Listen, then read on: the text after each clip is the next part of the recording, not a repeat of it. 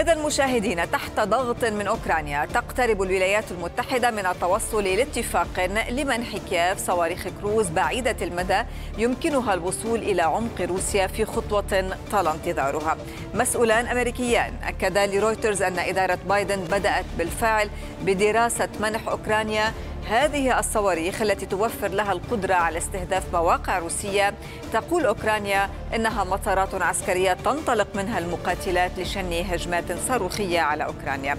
تقارير أمريكية نقلت عن مسؤولين أيضا أن واشنطن تبحث سبل إسناد القوات الأوكرانية المتوغلة في كورسك للحفاظ على المواقع التي سيطرت عليها.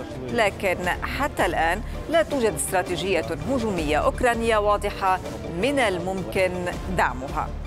أيضا من أمريكا إلى ألمانيا التي حقيقة تعتزم منح أوكرانيا ست منظومات دفاع جوي إضافية من طراز IRIS-T SLM وأضاف المصدر أن برلين تخطط لشراء ست منظومات أخرى من الطراز ذاته لسلاح الجو الألماني لكن السؤال هو ما هي قدرات منظومة الدفاع هذه؟ نظام الدفاع الجوي الأرضي طراز IRIS-T SLM يتكون من عدة مكونات. ما هي؟ رادار مركز قيادة ثلاث قاذفات صواريخ محمولة على شاحنات كما نتابع. يمكن لأحد هذه الأنظمة حماية مدينة متوسطة الحجم.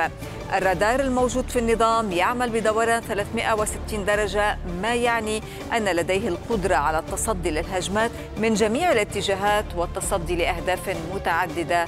في نفس الوقت. أيضا يمكن لهذا النظام إطلاق النار على أهداف يصل ارتفاعها إلى 20 كيلومترا ومدى 40 كيلومترا.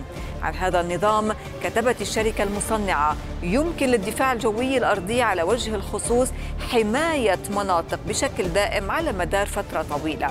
لهذا النظام مشاهدينا أيضا قدرة على صد الطائرات المقاتلة والمروحيات والصواريخ من نوع كروز بالإضافة إلى المدفعيات الصاروخية والصواريخ المضادة للرادار والقنابل وأيضا طائرات كاميكازي الإيرانية التي تستعملها روسيا في حربها على أوكرانيا.